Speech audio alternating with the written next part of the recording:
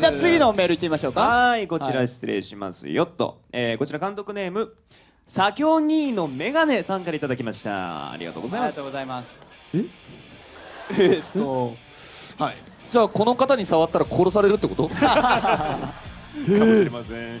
えー、秋組の皆さん、こんばんは。こんばんは私はまだ監督歴1年にもならない新米なのですが、秋組が大好きです。ありがとう秋組の公開生稽古を見るのは初めてなので、興奮が止まりません。だからさて、私は秋組を知った時に、こわもてだけど甘甘党な十座くんや、今は秋組の、いや、カンパニーの母と化しているけど、元ヤンのオミくんなどギャップの多い組だなと思いました。そこで質問です。A3 に出演されている声優さんでギャップがあるなぁと思った方や思ってた人物像と違った方は誰ですか？教えていただきたいです。これはい。あああるある。ホセさんっすね。あね。あの すげえしっかりしてそうなんですよ。ああわでもかるわかる。実はちょこっと可愛らしいドジっぽい部分があったりしてお茶目なんですよね。そうそうだよね。だから一番ギャップに驚きましたねホセさん。そういう風に見る人もいるかもしれませんね。どういう風に見てもらいたいんですか？えー、そうなの？え一番ギャップあるなって思いまあました特にね秋組の国会のニコ生の時は毎回何がしかやらかしてるイメージありますからね。あはい。いえそんなことはありません。本当ですか？竹内くんが食べるはずだったケーキ食べてごめんね。そんなことはありません本当に。ありましたねその。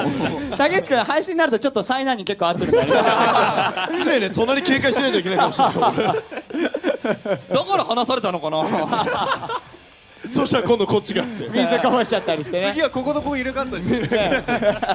安全な夫人がないもん。ないからね本当に。すまねえ。ははい。いやじゃあそんな 竹内さんの前でます竹内さんなんか、ね。なんだかいらっしゃいますか？ギャップですか？あギャップとかああこういう人なんだみたいな。そうですね。でもなんかみんなそれぞれ持ってるような気もしますけど、いはいはい。そうだな。でもまあやっぱそうですねあのー、誰だろうな。全然浮かばねえ 全然ない最初からないなっていうのが分かりました全然浮かばね 絶対ないと思ってた。迷った6秒返せよ。いやでも俺竹内くんが一番ギャップああった。分かる分かる分かります。分かる。よく言われるとブルライのさリハの時に俺もそれ思った。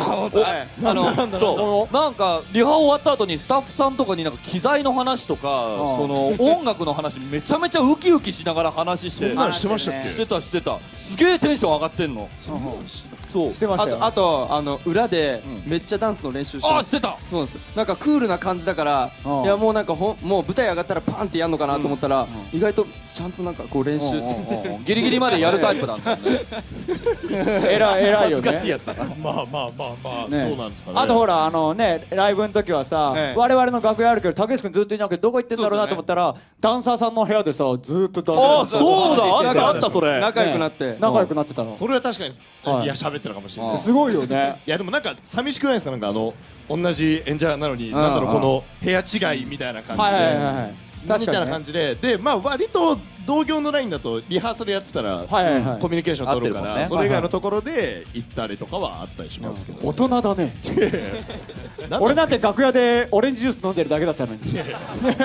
いいじゃんさ気持ち落ち着かせて。あ そう気持ち落ち着かせてね。いやー意外とね。逆に小西さんとかは、はい。あの声優的なところの現場も、はいこう初めてみたいなことだったじゃないですか。っていう中でなんか感じたギャップとかあったりされました。はいはい。演者さんとかもそうですけど。いやーどうなんですか？なんかなななんですかね？な声優の方ちょっとわかんないです。あの ごめんなさい。じゃあ僕が俺が悪かっあの申し訳ない。あのね多分ね他の3人はあんまりギャップがないよ。